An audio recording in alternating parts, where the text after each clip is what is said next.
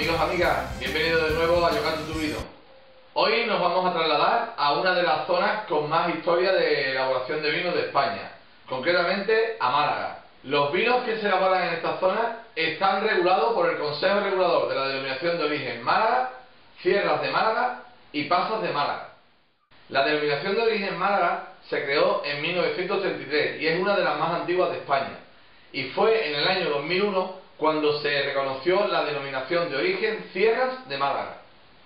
En esta denominación de origen contamos con cinco subzonas de producción y elaboración de vino, y son las siguientes: Absarquía, Montes, Manilva, Norte y Serranía de Ronda.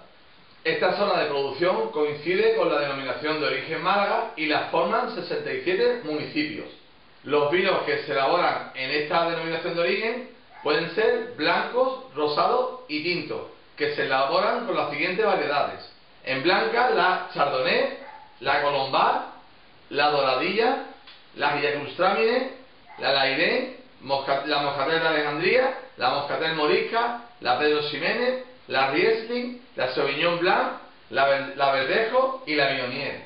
Y en tinto tenemos la Cabernet Franc, la Cabernet Sauvignon, la Garnacha, la Graciano, la Malbec, la Merlot, la Monastré, la Petit Verdot, la Pinot Noir, la Romé, la Tempranillo, la Tintilla de Rota y la Syrah.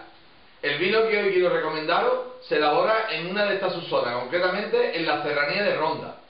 La Serranía de Ronda cuenta con una gran historia en la elaboración y producción de vino. Se han encontrado pruebas en las ruinas de Acinipo, en Ronda la Vieja, de que en la época romana ya se elaboraban vinos. Para que los vinos lleven el nombre de Serranía de Ronda, además de los requisitos, la uva tiene que proceder exclusivamente de esta subzona. Está compuesta por ocho pueblos de la serranía, incluido Ronda, y con más de 25 bodegas. El vino que hoy quiero recomendar está elaborado por bodegas Sansara Wine. Esta bodega está formada por dos jóvenes profesionales del sector apasionados del vino y la naturaleza, como son Pablo y Juanma. Trabajan la agricultura orgánica con conceptos de biodinámica. Moriche añada 2018 un vino tinto joven elaborado con las variedades Tempranillo, Merlot y Syrah. Este vino está elaborado de forma natural, igual que todos los que elabora esta bodega. En nariz destaca las frutas rojas y las notas balsámicas y minerales. Es muy fresco. En boca es suave, ligero y con un paso muy elegante y equilibrado. Espero que el vídeo haya resultado interesante. Es un vino que recomiendo.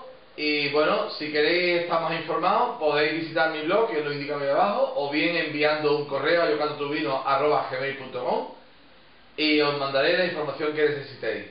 Mm, daros las gracias por dedicarle vuestro tiempo a ver mi canal y como siempre, apoyemos la hostelería. Un fuerte abrazo. Saludos.